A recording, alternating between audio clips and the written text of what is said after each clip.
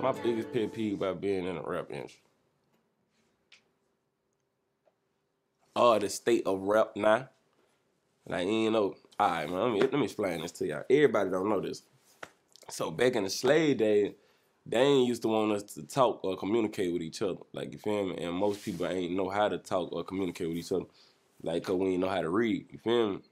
So we couldn't talk about shit or talk with each other about nothing. You feel me? Then when they wanted to plan escapes and shit, they'll go far out in the woods and they'll beat on drums and everything they say they'll make it rhyme. You feel me? So when the, when they master catch them, you feel me? They be like, oh, we practicing uh, Christianity. You feel me? We singing gospel. You feel me? Basically. Feel me? So, but they'll be beating on, on, on, on, they'll be making beats. You feel me? And everything they saying is rhyming, but they trying to, they trying to like uh, uh, plan to escape or, or, or get a message across to somebody else on another. You know what I'm saying? So I feel like I'm one of them niggas who carrying that that that putting messages in my music and shit. I'm not just rhyming for no reason type shit. You feel me? And I feel like 90% of these niggas rhyming for no reason. They just doing it because they see other niggas doing. And these niggas is not they fucking self. All these niggas imitations and clones of other niggas. Feel me? That what make me different, I feel like. No matter where I'm at, I'm gonna be Lil Peas, you know? I would say my upbringing shaped me on some on some shit like like I, I I'm more I'm more uh, observe. I'm more observe. I watch everything.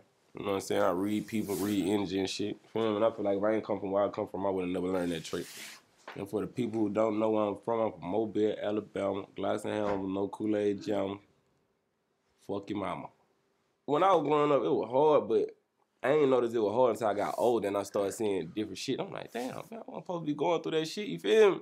Cause I'm seeing when I go to California, I'm seeing niggas who still got their mama and their daddy together. Like I'm going to their house, they got all the toys, bikes, all that shit in the world. You feel me? I'm like, damn.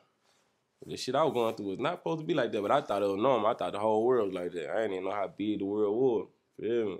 And I feel like, but the hunger that that shit put in the nigga, like that's the reason why I made it for real. For at the end of the day, being realistic. You feel me? Cause goddamn, I was fucking with this little bitch and she had a nigga that wanted to give her five pounds to fuck. So get what I did? I took it. Took the five pound shot to lay down video and then I made it. So I feel like that hunger that was in me is the reason why I, I feel like I went through all that shit to yeah, get what I'm at. If I could talk to the young kids, I'd tell them, nigga, man, keep doing the exact same shit you doing. Don't change nothing. I tell myself to uh be more patient though, cause I rushed into a lot of shit like signing and shit. I wish I would have waited at least like six more months or something, some shit like that. Cause I rushed into that shit, and I was fucking with motherfuckers who just wanted to get a check off a nigga. Like they wasn't looking, they wasn't, they wasn't thinking like I'm trying to be a big star. Feel? They just thought I was just trying to get a quick check too. Fuck no, nigga, I'm trying to get a real, real check out this shit. What made me realize I should have waited with the record deal goddamn. I'm seeing these niggas that signed for millions and shit. Straight directly to labels and shit. One million, two million, 3.4, all this shit. Man, I signed E-40 for $20,000. Feel me? So once I realized that, I'm like, oh yeah, this ain't right, bro. I'm like, this ain't right, man. That shit ain't thorough. And I'm a grown ass man, so I'm saying the fuck I want. 40 your ass wasn't right, nigga. Straight out. I feel like I'm getting better with showing like the real me and shit.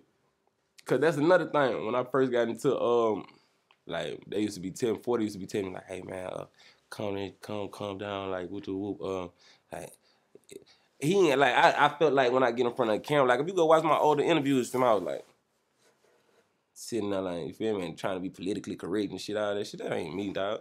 That, that was older niggas in my head, like man, all that hot shit, whoop whoop. But these other niggas is doing the same shit and getting millions of dollars for it and shit. You feel me? Man, you got me out this bitch still robbing all type of shit. And you trying to tell me what the fuck to do. My relationship with 40, uh, it's alright. It's cool. I just, man, I just felt like, man, honestly, I just felt like he did what, what, what any nigga who wants some money to do. You know what I'm saying?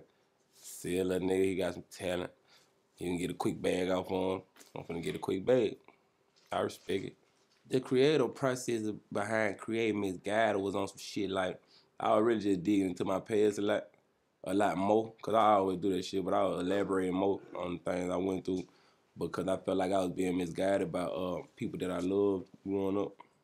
You know what I'm saying? So once I realized that, I just wanted to show all the young niggas that they being misguided too. That type of shit.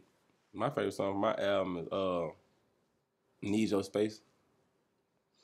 And I say that's my favorite song because uh I went into a different little bag on that one. I surprised a lot of my fans and shit. And like the uh the feedback I got from it, you feel me? That shit was good. The Gangsta Grillz collab with DJ Drama came about like on some shit. Shit, just being around uh Mean Street, fucking with Sid and shit, fucking with Joe Lake and shit. That's how that shit really came about. I went in the studio when he had recorded the um the the, the voiceovers and shit, but he would call to me while he was in the studio, like, bro, like he is on here calling man, I'm going through the same shit. I know exactly what I'm gonna say on here. And I ain't even want to hear it until it was all the way done. You know what I'm saying? But Drama, he a cool dude. He a cool dude. You know, a lot of like the older people in the industry, like they be they be trying to stay away from the young niggas. I don't know, they think we hot or what, but they don't be fucking with niggas like that. It's on a certain few niggas in the industry that fuck with me. I'm keeping it honest. But I don't be giving a fuck though. I don't even like humans. Hey, you already know what it is, man. Big overkill on VP, and you checking out 247hh.com.